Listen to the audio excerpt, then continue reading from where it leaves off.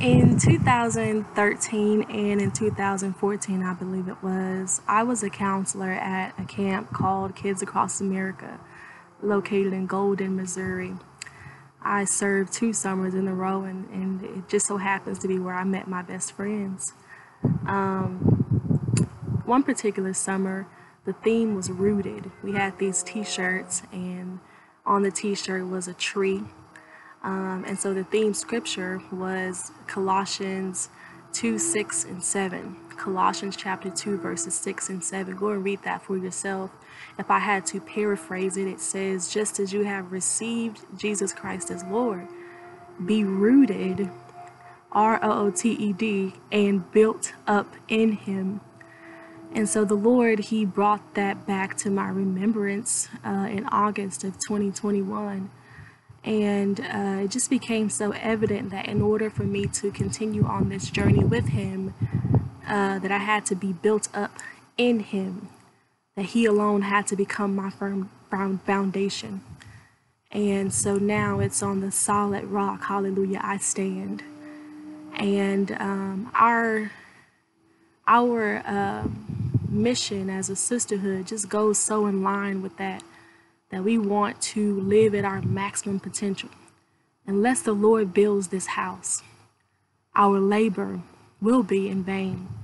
And I'm just so excited for us to come together again tonight.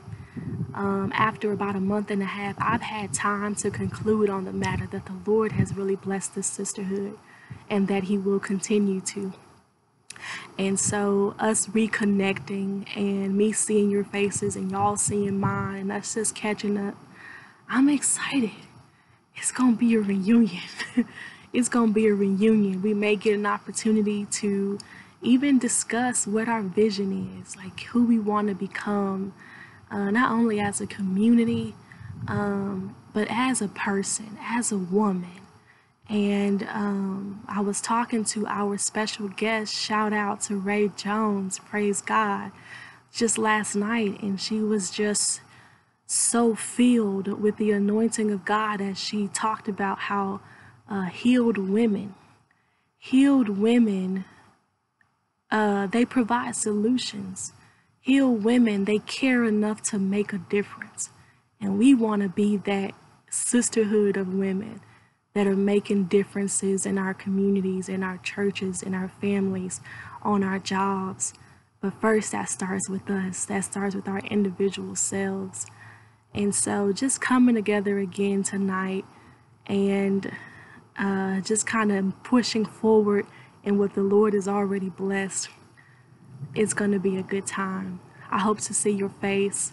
Um, and yeah, I love you. We'll talk tonight. God bless.